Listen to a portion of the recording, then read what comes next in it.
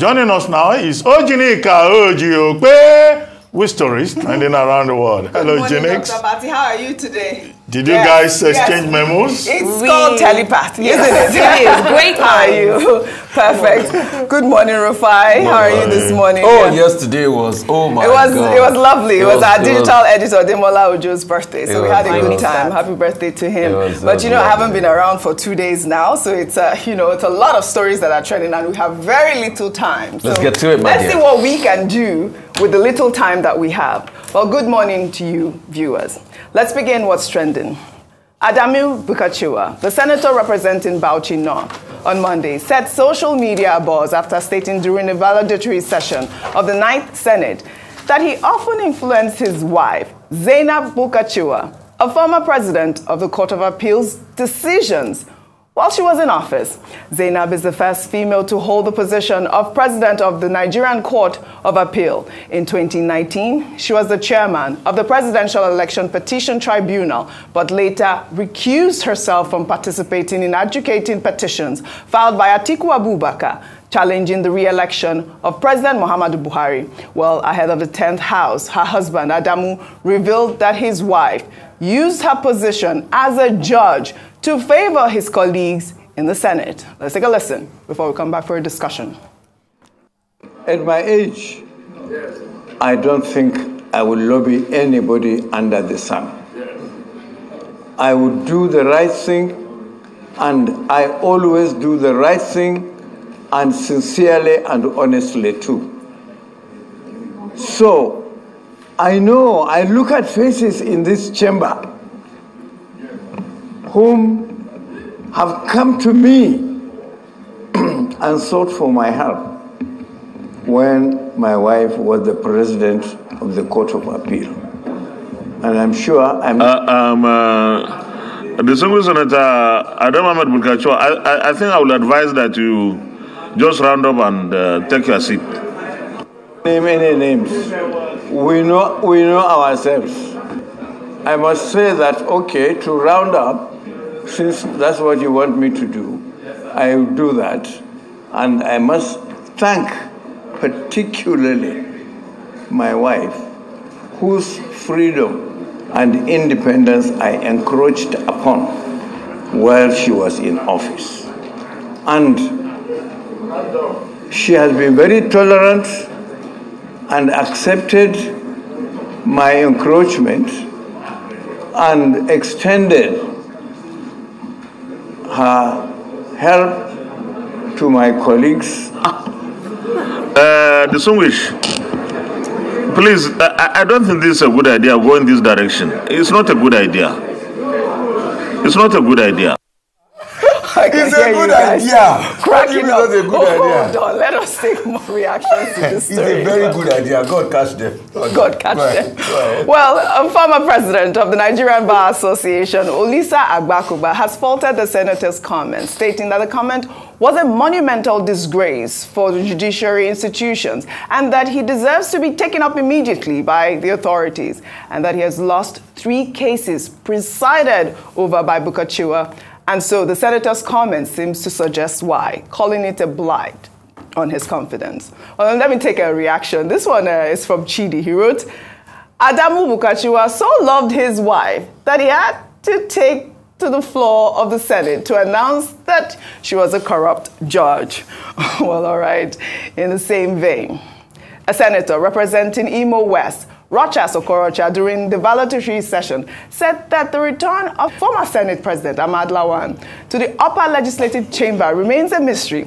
Well, in a video that has now gone viral, Rochas asked Lawan to teach him how he returned to the Senate after losing the presidential ticket of the All Progressives Congress. Let's take a look. Again, we shall all stand to say Nigeria is a great country. And to those of you, our colleagues, including you, Mr. Senate President, you know you're a very smart politician. How you came back is yet another political book to discuss. Sorry? How you came back is another chapter in our political history. How I came back from where? How you return to the Senate as a senator will open another chapter of great discussion in our political book. Because I was there in the field with you running for president. I never knew how you were able to meander and return and leaving some of us. Next time, you must teach me how to do that. It was a torturous journey because we had to go through the courts. I didn't even appeal. All right, confession upon confession. Confession. What can we do here? I would start with Bulkachuwa Yeah. Eh, about his wife. What do oh, you make of that story, really? Oh, Oji, I'm very happy this is happening. What a great time to be alive. God is a Nigerian. You can see what's happening underneath. Yeah. Sort of a very damning cover. If we're a sane country that truly wants to fight corruption, by now the authorities should be calling him to expatiate more on those colleagues that were helped. Mm. He can do it to get away with it, but what about others that their wives are not judges? Must we all go and marry judges now because we want to get something? And I'm happy Rochas Okorocha also raised that case Yeah. of the Senate. Even the incumbent Senate president, didn't the case go to court? Didn't the incumbent Senate president run for presidency? and we know how the case went through courts. You see, Nigeria has become a theater of the absurd. Overnight, when some people love you, you have done no wrong. But the moment you are at loggerheads with them, they would use everything to fight you. All of a sudden, Nigerians act like we don't see what happens. We don't see what happened in the process. All of a sudden, we are forgotten. But you see, like Rochas Okorocha said, that would be another political booklet to be opened. It will be on record the role our courts played. And we keep seeing all of that. But you see, I keep saying something, Oji. It is righteousness that we exp- exalt a nation. Mm. And we are seeing them confess their sins out. Absolutely. Until we build in Nigeria, currently, oh, like they say on social media, they play. Yeah. We they play. Olisa Agbakoba described it as a monumental disgrace. he wants the senator to be arrested. Dr. Abati. Okay, what is my response to this? Uh, Senator Adamu Bulkachuwa is uh, 83 years old. So I don't know what happens when people get to that age. May we all reach that age and Yes. even go beyond. Uh, otherwise, uh, I don't understand why a man will publicly throw his wife under the bus like that. So, but he's 83 years old. Some other people will give his uh, conduct some other interpretations. That's number one. Number two, I think he's on his own, except what he has said is corroborated. I think the excitement, the objection is because he's the husband of, uh, uh, you know, Justice uh, Bulkachuwa. Well, it's a medieval concept under the doctrine of the unity of spouse that you cannot separate a man from his wife. So if a man says, well, I was influencing my wife, then, you know, people will say, eh, he must have done it. Okay? But he has, he has to be taken to account to prove it Yes. to corroborate his own evidence.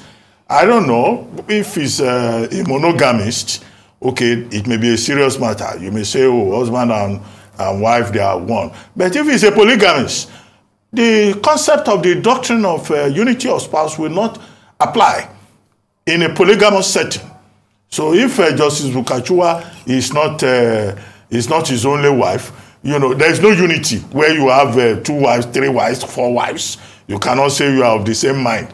You know, the woman may, may, may be doing her own thing contractually and all of that. So I, I think, in other words, I'm saying that Justice Bukachu, uh, Senator Bulkachuwa's submission should be, uh, you know, uh, taken with a pinch of salt, except the matter is investigated and there is a corroboration. Absolutely. Number three, apart from saying it was an irresponsible outing for Senator uh, Bulkachuwa, I think it's most unfortunate that at 83 years old, a man that is uh, supposed to be a, a man of wisdom, uh, since in Africa we connect wisdom with age, we just throw his uh, wife's entire career Unfortunate. adrift Yeah. like that. Where is That's wisdom? exactly what happened. And which was Ahmad Lawan was telling him, don't go in that direction. No, don't go in that direction. Ahmad Lawan is a much younger man, but he seemed to have uh, made a wiser uh, intervention in the matter.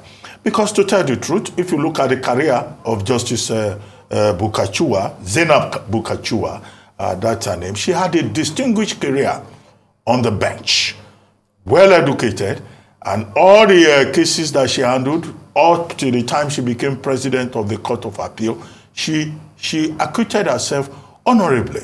When it appeared in the uh, 2019 case, uh, Presidential Election Petition Tribunal case, that people were saying, oh, she had collected 6 billion. She came out openly and said, look, I will stand down from, from this case. Not because I will not do justice. So the, the allegation she said, you know, had nothing to do because she was clear in her mind that she would deliver justice as due. But because doubt had been raised, she honorable, honorably decided to step aside. And she retired from uh, the bench uh, March uh, 2020. Okay? And she had a great, you know, departure as the first female Nigerian to be president of the Court of Appeal of Nigeria. And then two years later, her husband goes to the valedictory session of the Senate and he was saying, I influenced my wife. I, uh, you are missing Dr. Abati's impression, director. You should have well, seen it. uh, but, but as a standard wife. practice here, I think the uh, irresponsible nature of Senator Bulkachuwa's uh, statement about a woman from whom he has three sons Yeah. will have been shown to him, will have been uh, explained to him. Uh, but you know, standard Nigerian behavior, he will come now, he will say, oh, he was quoted out of context. Or, or, or he will say, or, or he will say that, uh, you know, those who recorded him uh, misrepresent, misrepresented him. Our prayer in this country, may our daughters not meet some of these men who will come and turn your career upside down Amen. with careless talk. Amen. And, and he owes his wife an apology. He owes us an, a- an explanation. And those who have been saying that his, his uh, allegations should be further investigated should go ahead and do so. But he's on his own in this matter. All right. All right. My next story, you did have um, CEO of Air Peace Airlines, Allen Onyema, just now. So I'll breeze through this story, Ayo, and then you make a quick comment before we take our final story. Uh, several allegations made by the former Minister of Aviation, Hadi Sirika, on Sunday, while responding to the controversy surrounding Nigeria Air, have generated reactions from a cross section of Nigerians. Sirika made the allegations on This Day Live. One out of the allegations was that the chairman of the House Committee on Aviation, Nnolim Nnaji, asked for 5% shares of Nigeria Air to be given to him in an attempt to discredit Nnaji's earlier assertion that Nigeria Air is a fraud. Sirika stated that he had rejected Nnaji's request because the bidding process for Nigeria Air at the time was over, but that the 5% held by the federal government will eventually go to the market and that he could present his bid at the time. I think I need to respond to my friend who said it was a fraud. Uh, right Honorable Onalim, the former chairman of House Committee on Aviation. Um, what, he, what I said to him in private, I will say it now. He asked me, just to give him some comfort, he asked me to please, please, please indulge him and give him 5% of the airline. That 5%, what I told him in private is that it belongs to the owners. And I believe they'll still be willing to offer him if you have the money. So it is not me giving it. I didn't get involved. It was bidding process. And I'm very sure that they will have reserved 5% for him and his people according to him. So he should approach them uh, to, to get his 5% that he needed. The chairman of the House Committee on Aviation has debunked the claim made by the former minister. Well, in a statement released on Sunday, Nnaji stated that Sirika is a drowning man, struggling to grab anything on his way to survive the barrage of attacks he has been receiving since the controversial unveiling ceremony of the so-called Nigeria Air. Nnolim added that it is not strange that Sirika came up with the scrupulous allegations against him because he had remained consistent in demanding that the minister followed due process. Well, uh, let me take a tweet. This is from Joseph. He wrote, This is the tried culture of corruption in Nigeria. Throw counter accusation at your accuser. I think an independent investigation needs to be carried out on the Nigeria Air project. Was the Association of Airline Owners of Nigeria, who opposed the project, also seeking 5%? Well, you know, the minister has come under fire um, for admitting during the interview that the aircraft brought into Nigeria was a chartered Ethiopian aircraft, when in actual fact, he previously claimed during a report with Channels TV that three aircrafts were purchased by Nigeria Air and that one out of the three purchased would arrive the country ahead of the said unveiling ceremony. Friday, in two days, the Nigeria airplane will land in Nigeria, part of the processes to commence the operation.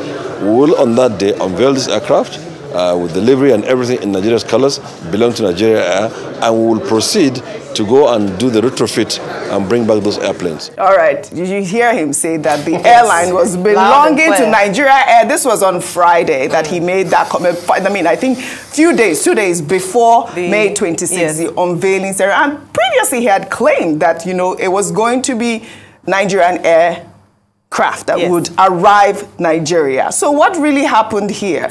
I well, mean, well, you know, OJ, a number of questions after the interview with Mr. Allen Onyema. By the way, I would yes. encourage you watch it because it raised so many things that are quite disheartening. Um, some of them quite shocking, or maybe not too surprising because we, we understand the way these things play out. But another question I want to ask is that what part of the interview with Senator Hadi Sirika was true? Because first of all, we found out that the um, aircraft he had promised that was going to be Nigerian Air, and he said, no, no, it was just an unveiling. You know, we took it out of context. Second, Honorable Nolly has come out to say that he didn't ask for the 5% right of reply. Today, Mr. Allen Onyema debunked a number of claims that he had made. But one of the things I'll just highlight from that interview is this, and that is the fact that why would the Minister of Aviation set out to discredit an industry that he was supposed to be protecting and investing in?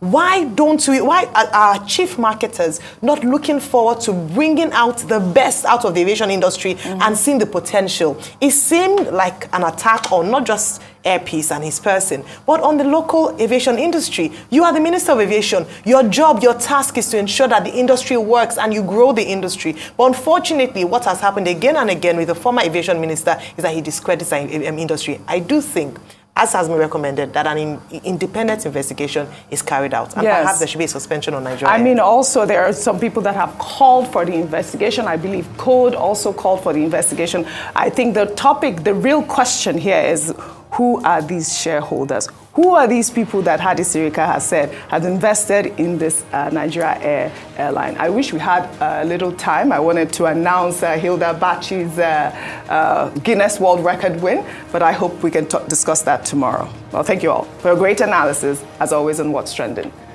Well, that's all I have for you on What's Trending today. I'll see you all tomorrow.